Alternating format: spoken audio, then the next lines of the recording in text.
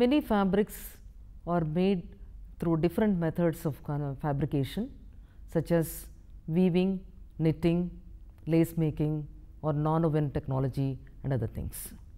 But these fabrics are made generally and when you want the, to actually make them to so, suit for a particular end use then we need to prepare them.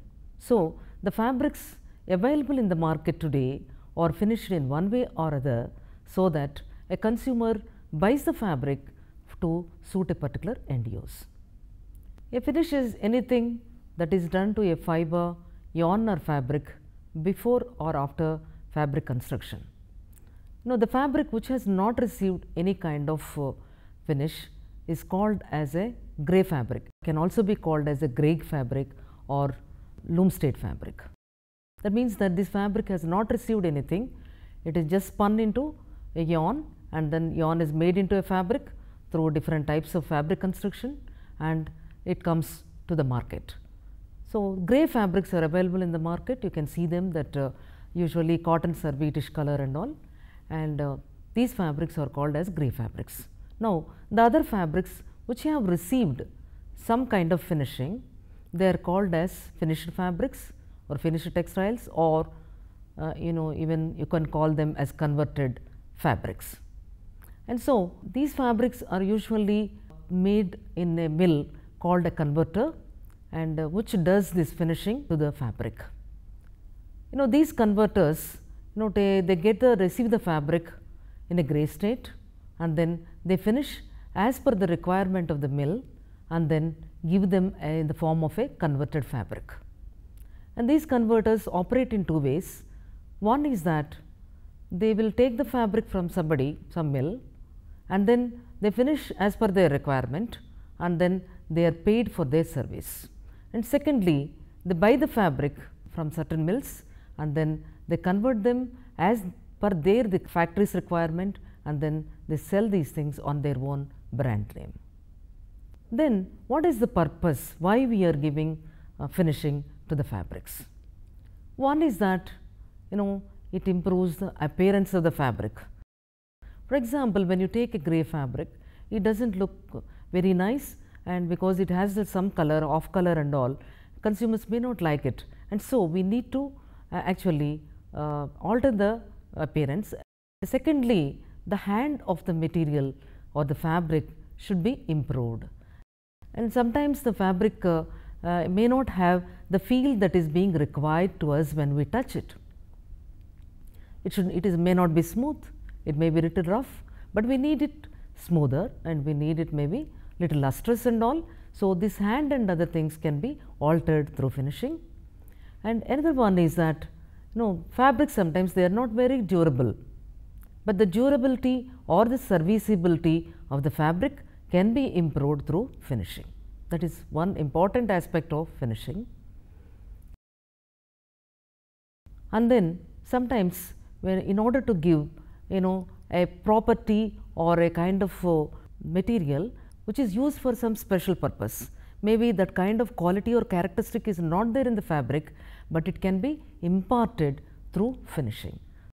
The thing that is going on today in the market and uh, see we can see the fabrics which are used in summer can also be used in the winter season, can also be used during the rainy season and this is all because of the you know finishing, different types of finishing or different types of finishes that are being used for making them suitable for this particular end users. And then we can even provide variety. For example, cotton uh, we have different varieties of cotton. We can even have an organdy which is uh, uh, very transparent when compared to the ordinary fabric because cotton is not that transparent. So, in order to provide variety also finishing is being done to the fabrics. But how we are going to classify them? Broadly they can be classified into two that is uh, one is routine finishes and then special purpose finishes. Routine means the finishes that are given routinely that they are required, they are essentials that is why they are given to the material to the material and then they are called routine. And special purpose means depending upon the end use. For example, cotton if it is used for the water repellency finish, yes, and it does not have water repellency. So, we need to uh, actually uh, bring, the, bring up that kind of characteristic in the material and thus we finish the material with that with the chemical you know that can uh, uh, give rise the water repellency to the material. So, they are all coming under the special purpose finishes. And different types of uh, classifications are in vogue today and depending upon the uh, treatment that can be given to the material when they can be classified as mechanical finishes, chemical finishes, thermal finishes and additive finishes. Mechanical means that means they only alter little bit of appearance, make it more uh, brighter and uh, also more absorbent and uh, so they, they employ some of the machinery and maybe steam and other things and they are able to produce this kind of uh, uh, you know changes in the fabric. The chemical finishes means they use the chemicals and because chemicals are used they may react with the fiber that is present in the fabric and thus they bring about the desirable characteristics or qualities in the fabric and so they are termed as the chemical finishes. And thermal means usually some of the uh, finishes are given at a very high temperature, something like a cross linking and all done for uh, giving a crease recovery finishes in case of cotton and they are subject to very high temperatures and thus you know in heat setting and all are given at a very high temperature and so these are called as thermal finishes and additive finishes means most of the finishes that are given today to the fabrics or come under this category. For example, simple finish like a, a starching in case of uh, cotton. This is adding to the fabric that means it is coating the fabric with some kind of chemical, some kind of material so that it gives a desirable property in the fabric. So, whatever water repellent finishes, whatever uh, antimicrobial finishes, uh, a kind of uh, the dyeing or printing, all these things come under the additive finishes.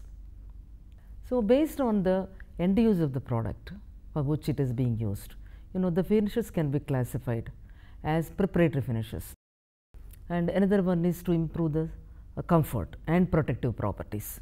Those are the other finishes, second class of finishes in that. And uh, third uh, type of finishes are aesthetic appeal of the fabric. So, aesthetic appeal finishes and then uh, some of the th finishes are there that they are called as the maintenance finishes. That means that you know the fabric needs to keep up its dimensions in order to make it uh, that way and some of the finishes are given they are called as maintenance finishes. And uh, finishes can also be classified as per the degree of performance. That means that uh, whether they uh, the finishes are going to last for a long time or shorter time depending upon that uh, you know the they are classified into permanent finishes that means that they last throughout the life of the fabric. That means till it uh, tears the fabric tears. And there are semi durable finishes. That means that they are durable for certain washes. Maybe say 15 washes or 20 washes or 30 washes like that. And then another category is there that is called as temporary finishes that means that they last till the fabric is washed very temporarily. So, these are the classifications that we find that the fabrics uh, are finished and whether they whether it is classified as a routine or special purpose or depend whether it is a, depends upon the end use or the performance everything finishes have to be given to the materials in order to make them suitable for the end use and also for the use of the consumer without having any problems. They will have the lot of satisfaction when these finishes are done properly and the fabrics are finished properly.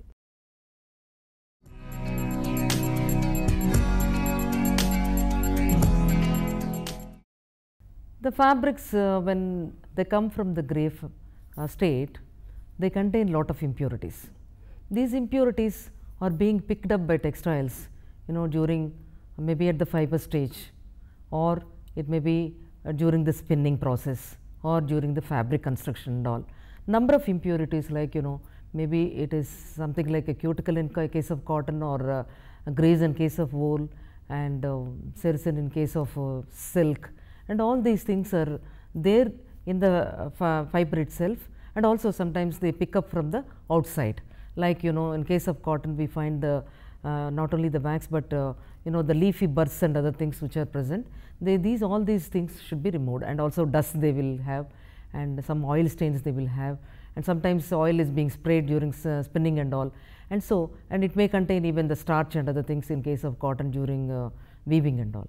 So, all these impurities should be removed so that they will be ready to take up uh, any kind of chemical or the dyes or the, uh, the you know chemical agents during the finishing process. Otherwise, uh, when the absorbance is poor, when all these things are present, they will not be able to take up uh, uh, finish uh, the finishing chemicals and thus the finish will not be efficient at all. So, the cleaning is required to remove all these impurities and so we need to do the preparatory finishes. And coming to the first preparatory finish like uh, singeing, you know singeing is the removing the fiber ends on the surface of the fabrics especially like cotton and also spun yarn fabrics. See when you see the spun yarn we find that lot of uh, fiber ends are present on the surface thus it becomes little duller and also uh, whenever water is poured into that it may not allow to absorb. So, the in order to improve the absorbency and also uh, to remove to uh, be away from the interference of these uh, fiber ends we need to remove them. Singeing probably may be the first step for all these uh, uh, spun yarn fabrics uh, wherein the protruding ends are removed and making it plain and smooth also the fabric becomes little brighter.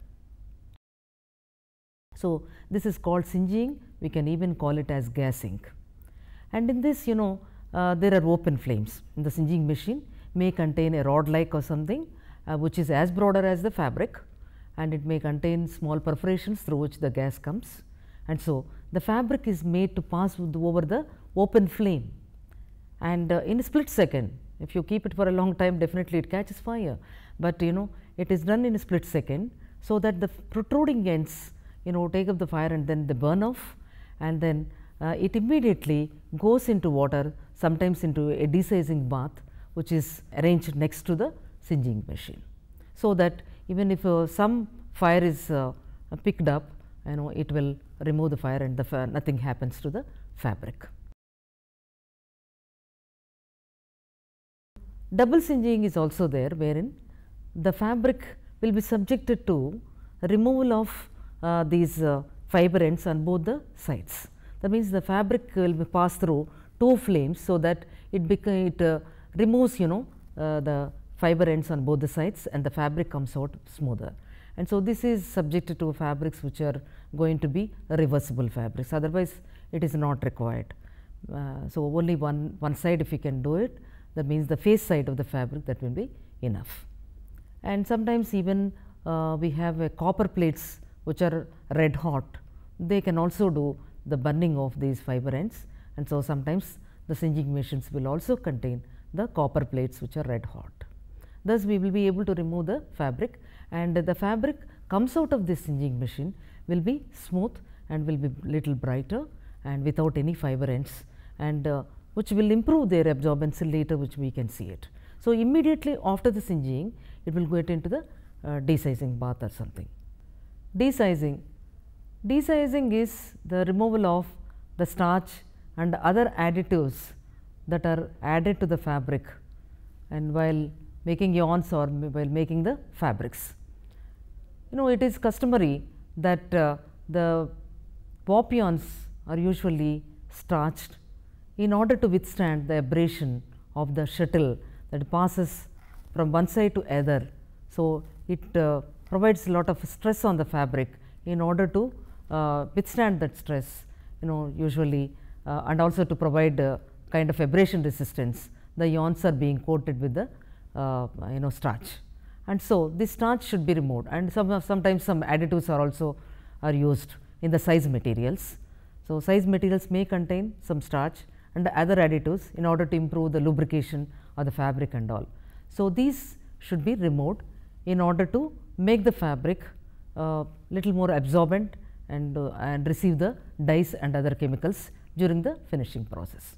So, it is done either by boiling the fabric in uh, uh some enzyme, today's uh, today enzymes are being used instead of an alkali or and mild alkali can also be employed for this purpose especially cotton fabrics when they are boiled in this they uh, will be free from the starch and other additives and then uh, fresh for uh, you know receiving some of the dyes and chemicals and get ready.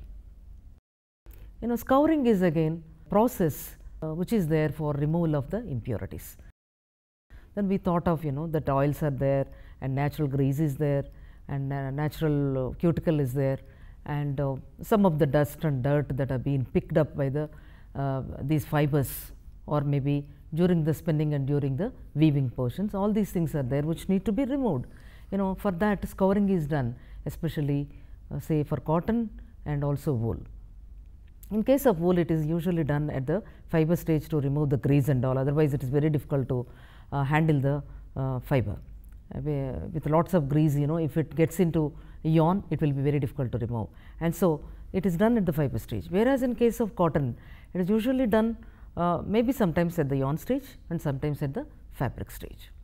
So, when you take the fabric, uh, you know, the natural uh, in case of cotton, uh, natural cuticle or the waxy substance that is present that will be removed and also sometimes uh, the vegetable matter like the burrs and other things, the leaf fragments all these things will be removed. And during the um, uh, spinning and all you know they sometimes they put some colors you know for identification purpose and all, though all those things will be removed uh, through this scouring. And scouring is nothing but the fabric is boiled in a solution containing a kind of a mild alkali in case of uh, cotton, alkalis will not uh, uh, deteriorate the fabric and so we can use the alkali like sodium hydroxide and which can really remove all these things and then make it ready. Sometimes soaps are also added, little bit of alkali and soaps and then maybe some additives are added uh, in order to make them free from all these kind of impurities.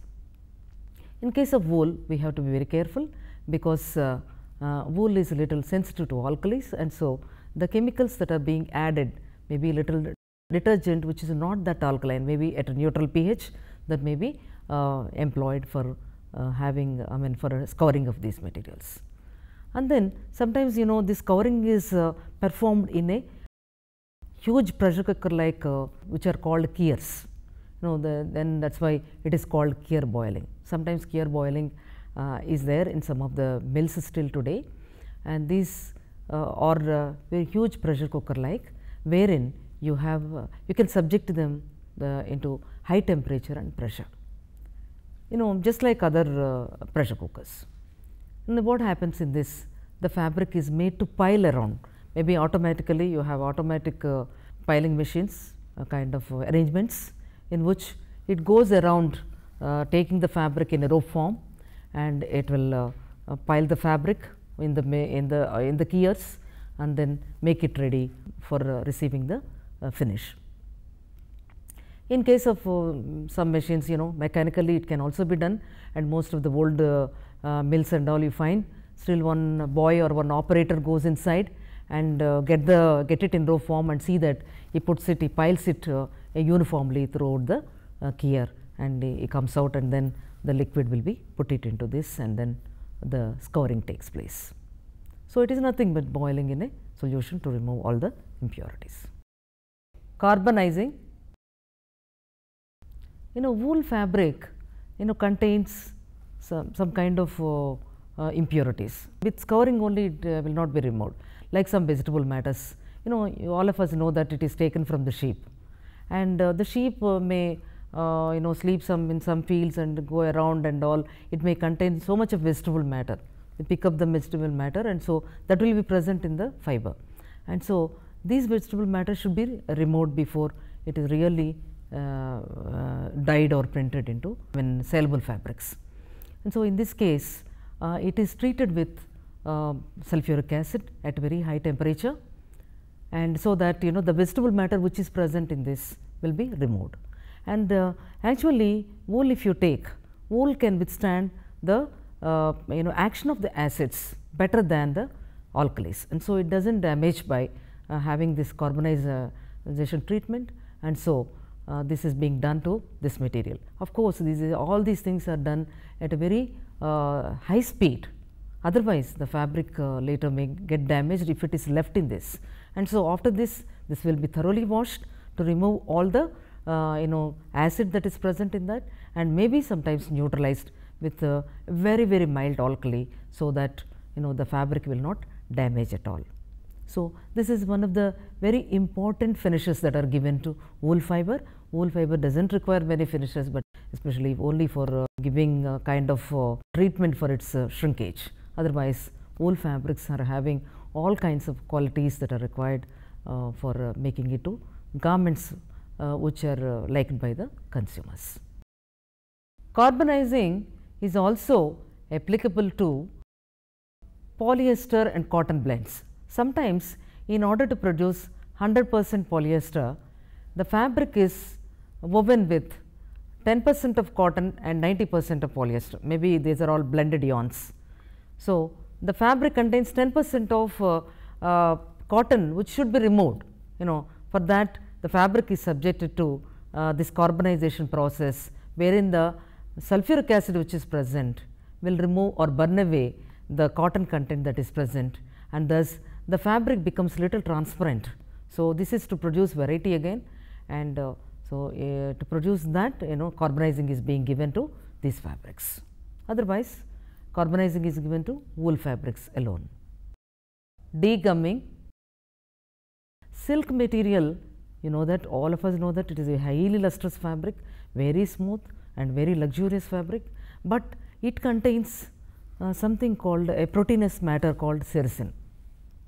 This has to be subjected to degumming, we call it as a degumming. So, degumming is the gum that is present, sericin which is present, which should be removed before it is made into fabric with a dyed and printed uh, structures on the fabric. And so, in order to do so, a mild soap is being used. Again this is a protein fabric and uh, so if you we use uh, some alkali then definitely it is going to damage the fabric and that too it is done at a very high temperatures. Uh, we need to do it very mild alkali and uh, not a very high temperature, but it is some temperature which will not damage the fabric and so it will be subjected to boiling with that mild alkali and which will separate the sericin and then the fabric becomes beautifully lustrous and uh, it will be uh, ready for taking up any dyes or the finishing chemicals. Usually silk is not finished much because it has all the qualities and it can also be called as the queen of all textile fibers and so uh, the fabric only requires this kind of uh, degumming, bleaching. All these fabrics are subjected to bleaching. You know uh, when we take the grey fabrics, the color of the grey fabric is not that white in case of natural fibers.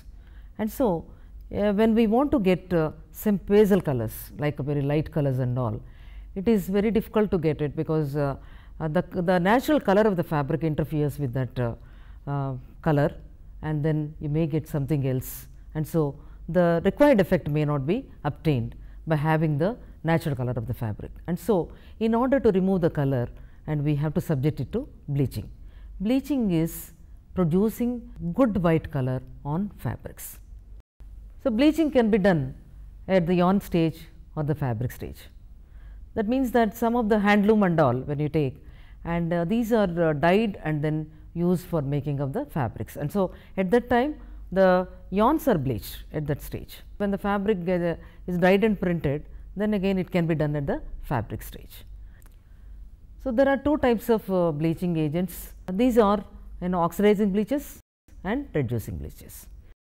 In case of oxidizing bleaches, they supply the nascent oxygen to the colored portion of the fabric and then make it uh, colorless. And in case of uh, reducing uh, bleaches, they remove either remove the oxygen or supply hydrogen and thus it makes the colored portion colorless and thus we can see the uh, white color on the fabric. Actually, the colored portion is not actually removed, but you know it is there on the fabric, but uh, because of the action of the bleach it becomes colorless. And then this bleaching uh, is done uh, with mostly uh, you know with the oxidizing bleaches. In case of natural fibers say uh, cellulosic fibers, you know we use bleaches such as sodium hypochlorite or hydrogen peroxide. Sodium hypochlorite is a very cheap uh, uh, bleach uh, on cotton and it is very effective on cotton. But due to um, you know pollution problems because it is toxic in nature and uh, so it pollutes the whole universe and so it is not being considered by the industries now even though it is much cheaper. But hydrogen peroxide because it is not that toxic and it can be easily treated and so hydrogen peroxide is being used by the industries now. Hydrogen peroxide is also an effective bleach and uh, you know uh, you can use it in a very small quantities like 2 to 4 grams of uh, uh say per liter it is being used and uh, uh, the bleaching is carried out at a higher temperature. So, that even if the bleach is very less in quantity, but the efficiency goes high at a higher temperature and it is done usually at 10 to 11 pH or 10.5 pH. So, at that uh, uh, pH uh, level and it, the, it, the efficiency of the hydrogen peroxide goes very high. And then the once the bleaching is over the fabrics are washed to remove all kinds of uh, uh, you know impurities and uh, any impurities that are present also and other bleaches and also sometimes it will be treated with a very mild alkali in case of cotton to neutralize a particular thing. Bleaching sometimes is carried out in some containers sometimes you know J boxes they are having a J shape boxes and the fabric is going to be piled up in that they are first of all put up in the bleach liquor and then they are piled up in the J box and they are left like that for uh, around 1 hour or so at a higher temperature. So, that uh, uh, the bleach will act upon the fabric and make it uh, to get a uh, good white color. And often uh, you know this scouring is also combined with the bleaching. So, scouring is done in the first J box instead of kiosk and all in advanced mills and all now you find and the containers are in J shape and the first scouring is happens in the first J box that means it is piled and the scouring uh, liquid runs into it and the one which is scoured and it is passed into after washing it is passed into uh, bleaching in where it is in again in a J box it is left like that and bleaching takes place in the second box. Like that you know it is a continuous process in the mill if you see each process after singeing it may go for the scouring and then bleaching and then uh, it may the fabric may come out like that and in between you may be having some washing and uh, which takes place. And uh, if you take the wool fabrics, you know wool fabrics are also uh, you know bleached with hydrogen peroxide and this hydrogen peroxide is can be used safely on these materials and there will not be any problem with the material. But while actually selecting some re reducing agents can also be used, but while selecting the bleaches for this uh, wool, we have to always remember that it is very alkali sensitive and so, the the bleach as well as the process of bleaching should be carefully selected in case of wool. And uh, silk materials may not require that kind much of uh, thing even if it is required hydrogen peroxide can easily be used on silk materials and thus the fabric uh, gets very good white color. But we have to remember one thing in bleaching that you know uh, whichever bleach used whether it is a safe bleach or whatever way it is there, but bleaching definitely deteriorates the fabric to little extent. And so, we have to select the process, the kind of bleach which is becoming to the fiber which will produce the least uh, problem which gives the least problem to the fabric should be uh, taken and also it is should be carefully handled throughout and then there is a danger again with over bleaching and over bleaching can be identified with the yellowness of the fabric and so it is very difficult to bring back the whiteness in the fabric and so we have to be very careful with these materials. Washing. So, after each uh, process it is washed and then it is subjected to other next uh, finishing. So, that the whatever impurities, whatever chemicals that are present in the first process will be all removed and then it will be ready and it will be fresh in order to uh, be acted upon the, by the chemicals in the second process. Thus, you know uh, the fabrics are being prepared and then they are ready for receiving the other finishes which are maybe special purpose finishes or maintenance finishes. So, that the efficiency of the finish depends upon how they are prepared, how well they are prepared receive the dyes or uh, chemicals and all. So, that uh, we are spending much on the other finishes and so the it will be economical also and it will be effective uh, when preparative finishes are very good.